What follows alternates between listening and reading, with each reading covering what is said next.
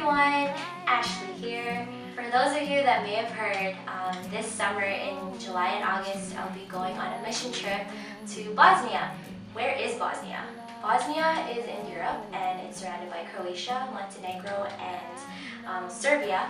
And as my shirt says, it'll be with Sperro because um, we want to do more than just hope.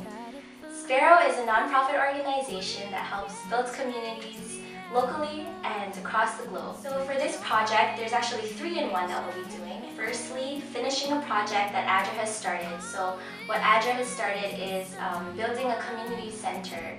And this community center will bring together people in the community from different ethnic backgrounds. So for community projects, classes, and even some environmental work. Secondly, we'll be interacting with um, individuals in the community, so whether it be through improving their green spaces or um, engaging with their community, just getting to know them through maybe health seminars and things like that. And lastly, we'll be repairing houses for those that are vulnerable citizens. So we're talking about elderly and even children with special needs. For children with special needs, we'll be hosting some fun activities just to get them engaged, get them off their feet and interacting with people.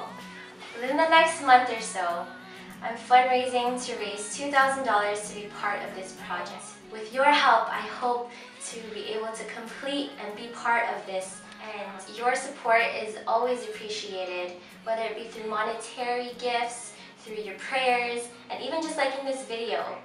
We can work together to build a community in Bosnia and make a difference in the lives of those across the globe.